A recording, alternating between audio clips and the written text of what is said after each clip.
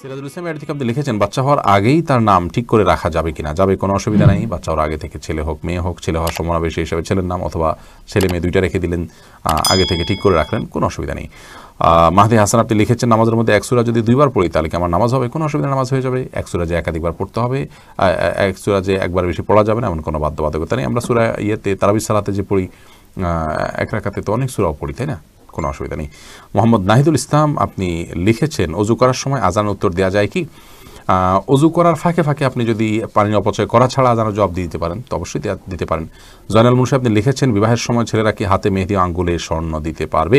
মেহেদি এটা নারীদের ভূষণ, নারীরা দিবে, বিশেষ করে হাতে পায়। চুলে বা দাড়িতে ছেলেরা দিতে পারে। নবী আলাইসাল্লাম এক নারীর হাত হাত দিয়ে কিছু দিচ্ছিলেন, তো তার হাতে মেহেদি ছিল না। নবী আলাইসাল্লাম বলেছেন যে, এটা কি পুরুষের না মহিলার হাত? বলা হলো মহিলার হাত। তখন তিনি বললেন যে, মহিলা, হাত কেমন যে মেহেদি নাই? তার মানে মহিলারা মেহেদি পড়তেন তখন। তাদের আদা ছিল এটি, কিন্তু পুরুষ সেটি করবে না, অর্থাৎ নারীর সাথে পুরুষ সাদৃশ্য গ্রহণ করা নিষেধ। আর তাছাড়া সাজগোজ এটি মূলত নারীদের জন্য। সাজগোজ বলতে এই জাতীয় অতিরিক্ত যে সাজগোজ আছে সেটি, আর পুরুষও পরিপাটি হয়ে থাকবেন সেটি তো অবশ্যই ভালো। এরপরে আহনাফ তাওজার, আপনি লিখে, তাজোয়ার, আপনি লিখেছেন, অনলাইনে ট্রেনের টিকিট কাটার সময় অতিরিক্ত ব্যাংক চার্জ নেয়। ওটা নেওয়া কি জায়েজ হবে? অনলাইনে ট্রেনের টিকিট কাটার সময় ব্যাংক যে অতিরিক্ত টাকা নেয়, সেটা কোন পারপাস নেওয়া যায় না। যদি সে তার পেমেন্ট গেটওয়ে বা তার তার ব্যাংকের মাধ্যমে আপনি কিনেছেন সেজন্য সে প্রফিট করে, তাহলে তো সেটা তার অধিকার আছে, জায়েজ থাকতে পারে। যদি কর্তৃপক্ষর পারমিশন থাকে, ট্রেনের টিকিট কেউ কিনে এরকম লাভ করার সুযোগ যদি থাকে।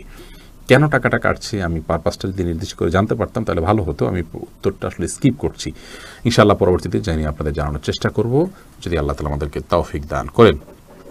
এরপরে, এম রহমান, আপনি লিখেছেন, ভাত খাওয়ার সময় কি বাম হাতে গ্লাস ধরে পানি খাওয়া খাওয়া যাবে? যাবে। বিশেষ করে বাম হাতে পানি নিয়ে ডান হাতে ঠেক দিয়ে অনেকে খান। অর্থাৎ দুই হাত দিয়েই খেলেন আর কি। জায়জ আছে কিন্তু উত্তম হলো আপনি সরাসরি ডান হাত দিয়ে পান করা। কারণ নবী করিম সাল্লাহ সাল্লাম এক কৃতদাসকে বাম হাতে খেতে দেখে বলেছেন কুলবি আমিনিক আহ, তুমি তোমার ডান হাতে খাও অকুলবি মাইয়ালিক এবং তোমার সামনে থেকে খাও। তো বাম হাতে পান করা এটা সুন্নার খেলাফ একটি কাজ এটি করা উচিত নয়। ডান হাতে যথাসম্ভব পান করা উচিত। কিন্তু ডান হাতে আমাদের খাবার লেগে থাকে বিশেষ করে আমরা যারা এই সাবকন্টিনেন্টে থাকি আমাদের খাবারগুলো এরকম যে ভাত তরকারি ঝোল টোল দিয়ে খেতে গেলে আমাদের হাত মেখে যায় গ্লাসে ধরলে নষ্ট হয়ে যায় সেখানে আমরা আঙুল চেটে খেয়ে তারপরে ধরতে পারি। সেটা আমাদের জন্য অধিকতর সুন্নার নিকটবর্তী এবং ভালো। কিন্তু যদি কেউ বাম হাতে খেয়ে ডান হাত দিয়ে ঠেক দেন তাহলে সেটাকেও আপনি আপনার ভুল বলবেন বা আহ, হয়েছে এরকম বলার কোনো সুযোগ নেই। সেটাও করা যেতে পারে অনেক একরাম সেই পরামর্শ দিয়ে থাকেন। এমডি মহিবুল আপনি লিখেছেন কবরস্থানের নামে জমি, সেই জমিতে কি জামে মসজিদ করা যাবে? কবরস্থানের নামে যদি জমি হয়, সেই জমিতে কবরস্থানের মানে কল্যাণার্থে যে কবরস্থানে মানুষ লাশ দাফন করতে আসবে, তাদের সালাতের সময় সালাত পড়বে, সেই হিসাবে আপনি সেখানে যদি পর্যাপ্ত জায়গা থাকে, কোনো একটা অংশে মসজিদ অবশ্যই করতে পারবেন।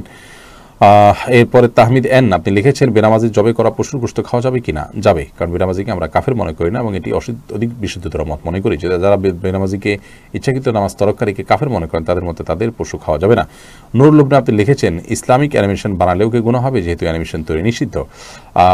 এটি একটা জটিল বিষয়। আমরা এটার উত্তরটা স্কিপ করছি। এসব প্রশ্ন মানে প্রশ্নোত্তরের এই প্ল্যাটফর্মে এই ধরনের প্রশ্নোত্তর আমরা এই প্রশ্নটির উত্তর আমরা দিচ্ছি না।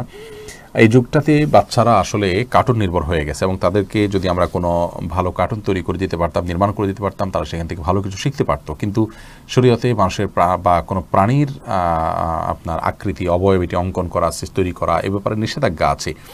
তো পুরো বিষয়কে আমরা সামনে রেখে আপনার এটার জন্য যে কোনো এই সময়ের প্রয়োজন এবং সার্বিক দিক বিবেচনা করে যে কোনো উত্তর এই মুহূর্তে দিতে পারব, ব্যাপারটা সেরকম নয়।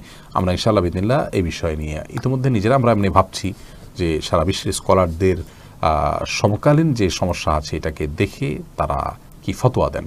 সেটা আমরা ইনশাআল্লাহ বিদিল্লা আপনাদেরকে জানানোর চেষ্টা করব। শাহাদাত হোসেন আপনি লিখেছেন, জুমার নামাজ পড়া সম্ভব না হলে কি আমি জোহরের নামাজ পড়তে পারব? জুমার নামাজ পড়া সম্ভব না হলে মিস হয়ে গেলে তো অবশ্যই জোহর নামাজ পড়বেন। মোহাম্মদ হাসান আলী কিন্তু কেন মিস হলো? অবহেলা কারণে মিস হলো। সেটি গুনাহের কথা সামনে থেকে সাবধান হতে হবে। মোহাম্মদ হাসান আলী আপনি লিখেছেন, গর্ভাবস্থায় সহবাস করা সম্পর্কে ইসলামে কোনো বিধিনিষেধ আছে কি না?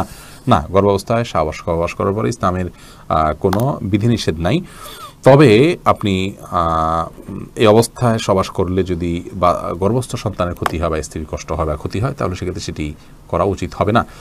বৃষ্টি হোসেন আপনি লিখেছেন, আমার অনিচ্ছায় আমার স্বামী বিশেষ কারণে কিছু টাকা সুদি লোন নিয়েছে।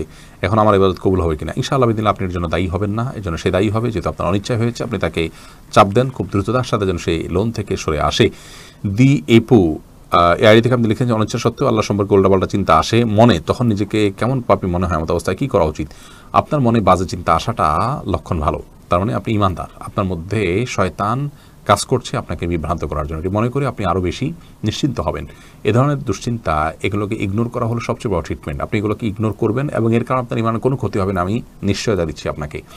বরং এ ধরনের অবস্থা আসলে আসলে আমন্ত বিল্লাহ রাসুলি এবং বাম দিকে আপনি তিনবার থুতু ফেলবেন, ব্যাস, এর মাধ্যমে আপনি সারা স্মৃতি লাভ করবেন। আর আপনি ইগনোর করবেন, এগুলোর কোনো পাত্তা দিবেন না। যত বেশি পাত্তা দিবেন, তত বেশি এগুলো আপনাকে আরও পেয়ে বসবে।